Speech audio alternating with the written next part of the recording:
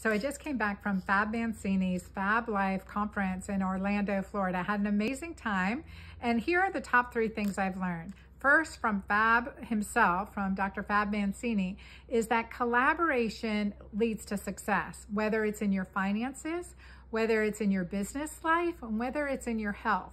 Having a collaboration and good connections around you is the key to soaring and scaling success.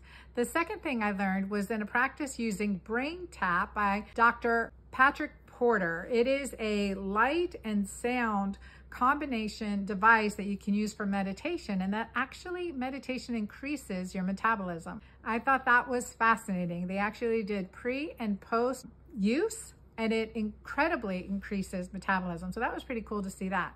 And the third thing I learned was from the lovely Anil Gupta, who is known as the Love Doctor. And he said he became a billionaire overnight because he stopped using the US dollar as currency and instead used the currency of love. I love that.